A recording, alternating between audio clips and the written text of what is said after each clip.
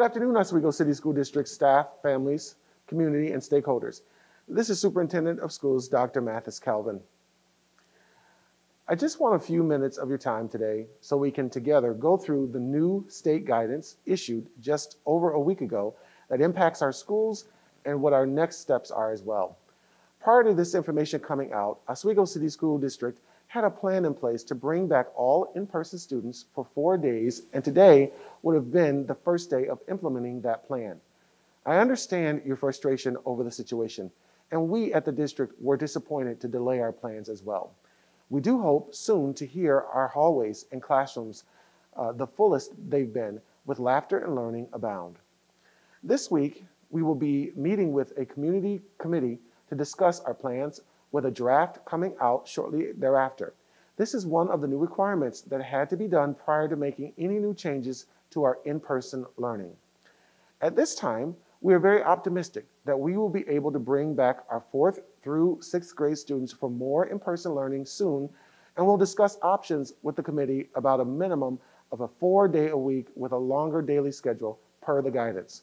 For our secondary students, we're moving forward with the hybrid model we have been using for the past month and a half for middle and high school students.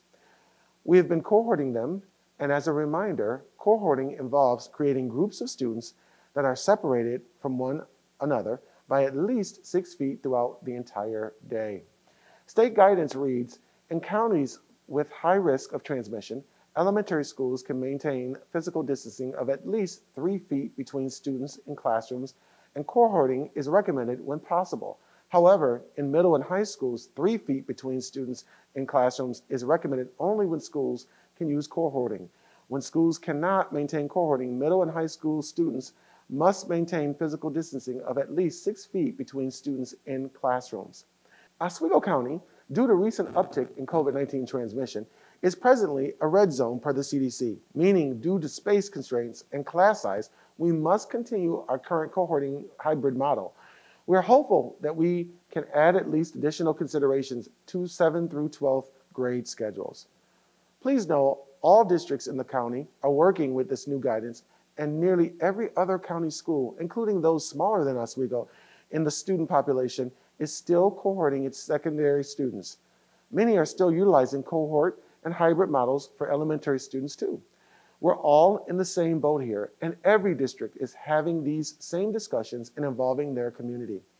While the new guidance, which has nearly 100 guidance points and or new requirements, allows for less restrictive physical distancing at the elementary level, the busing guidelines have not changed. Six feet of space between unrelated students is still in effect. Accordingly, all of our planning efforts will be centered around this fact.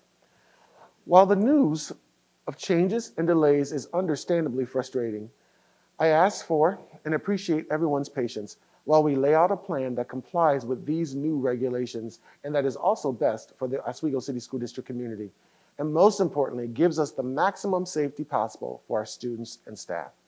I encourage everyone watching to visit our website at oswego.org to view the full released guidance and frequently asked questions from my letter posted Friday.